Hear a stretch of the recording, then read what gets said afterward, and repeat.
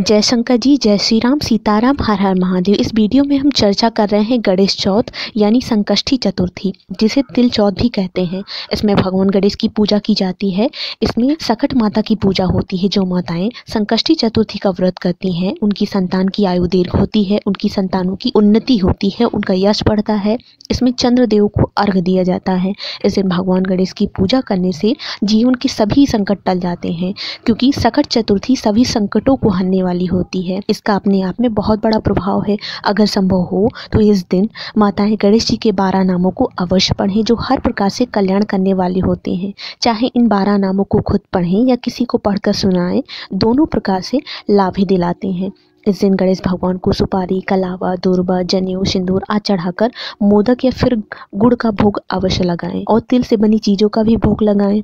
धूप दीपक भी जलाएँ, और वहीं यदि धन की कमी आ रही है तो इस दिन सुबह की पूजा में भगवान गणेश को गुड़ का भोग लगाएँ, फिर शाम की पूजा करने के बाद जब आप पारण करें तो इसी गुड़ को भगवान गणेश से लेकर अवश्य खाएँ प्रसाद के रूप में, क्योंकि तैतीस करोड़ देवताओं ने भगवान गणेश को प्रथम पूज माना है। जो गणेश जी के दरबार में आता है, वो कभी खाली हाथों से नहीं जाता। हर हर महादेव।